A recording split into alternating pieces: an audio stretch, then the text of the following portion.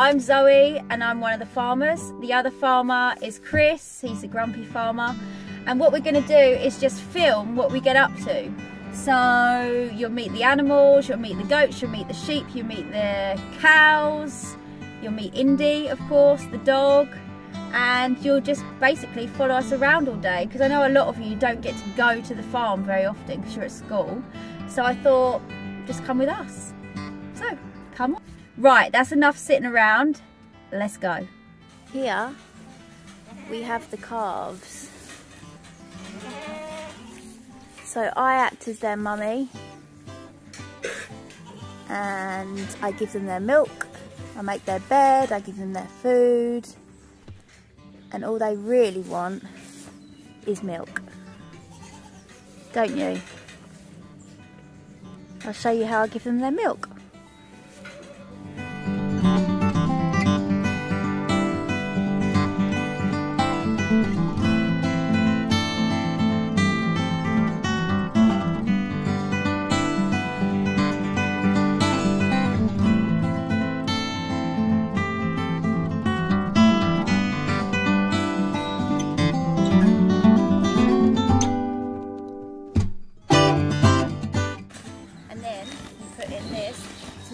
It's.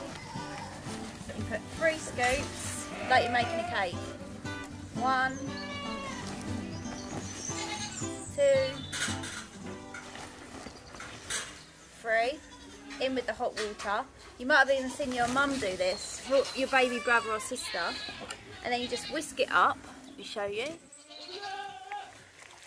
Whisk it like you would a cake until there's no lumps.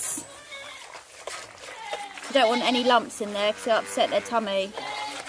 So you want it to be like the milk you have on your cereal. They're hungry. They're screaming at me like you scream for your dinner.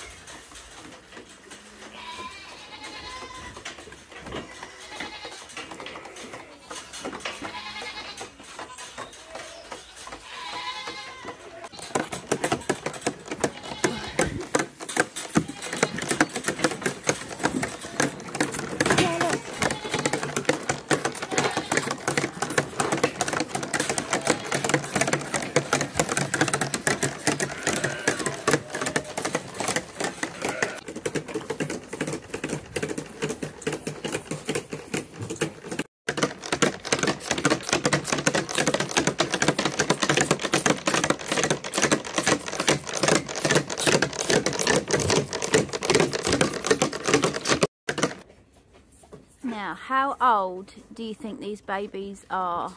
Because they're quite big. They probably weigh probably weigh the same as me. They're quite heavy. How old do you think they are? Right, I think they finished their breakfast now. Oh, no, one slow coach. Come on, slow coach. You are probably wondering why they're with me and I'm feeding them their milk rather than with their mum. And the reason is their mum is used to make milk that you will have on your cereal, milk that you might have before you go to bed. And so the mum makes the milk that you drink, and then I feed these guys their milk. So they're basically sacrificing their milk for you. Um, which sounds a bit complicated when you think about it, but actually, they're absolutely fine. They're happy with us. And it's just one of those things that, that happens in life. Um, and yeah, I would like to talk to you about it in more detail and go and visit a dairy farm, so where they make the milk. Um, so we can talk about it and talk to people that know a lot more about it than I do. And then we also give them this food. There's all different grains. They love it. Absolutely love it.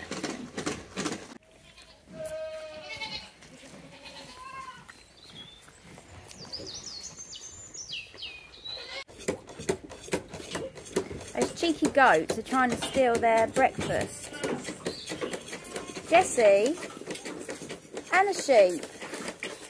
They're all trying to steal their breakfast. Jessie, naughty girl. They're all at it. Hello. Oh, look at that mucky pup.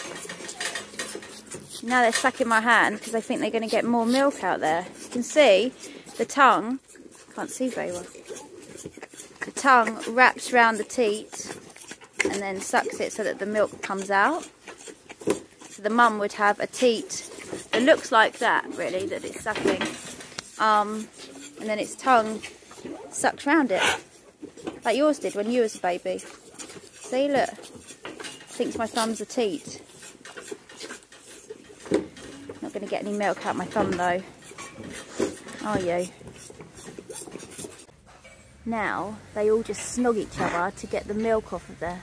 So on their mum, the udder is underneath here. So when they finish their milk, to try and get more milk, they do that to one another. Set this one, trying to get some out my hand. But you see there, so on their mum, that's where the udder and that's where the milk would come from. So they do it to each other to try and get more milk, but obviously they won't get any more milk off each other. Hello. You've got a little bit of a cough there. Hey, cheeky.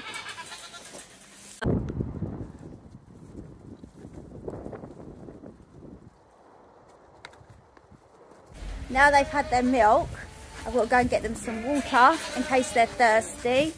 Um, and then some hard food. Look at those goats in there.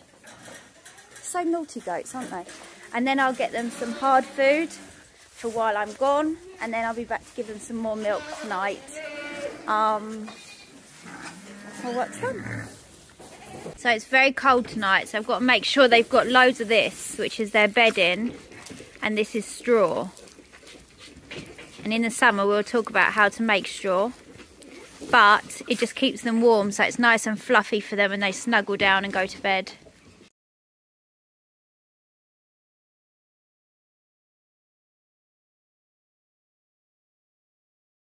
So they drink their milk twice a day, once in the morning and then once at night.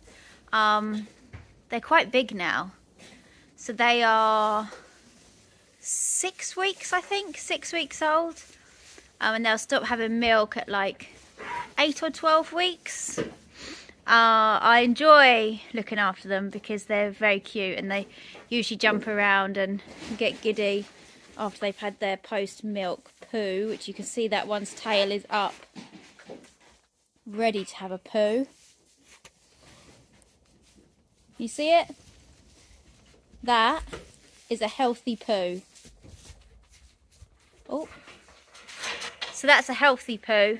If they get upset tummies, it can get a little bit runny, not very nice.